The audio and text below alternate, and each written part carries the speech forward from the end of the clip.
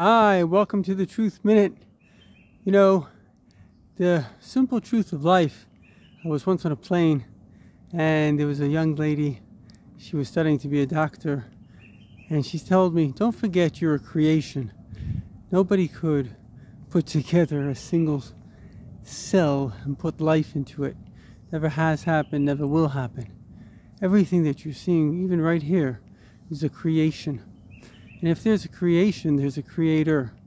And if there's many creations, and this is really the great discovery of Abraham, they're interacting. We need the sun, we need air, we need trees, they need us.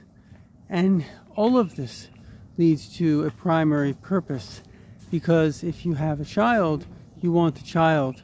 And this is really the goal of God, that each and every one of us is desired and we all get, the Alter Rebbe says, just like a lottery system. Imagine there's a boss and he has, I don't know, a thousand different jobs in his company. And there are a thousand people there. He doesn't know what to do, so he just takes lottery system. And this guy can train anyone to do anything. He says, okay, you're going to be, I don't know, the manager. You're going to be the janitor. You're going to be the foreman. All these kind of things this uh, person trains each and every one, and that's our life. We come into this world, we don't have any training, but then we are given the circumstances that lead us to our purpose.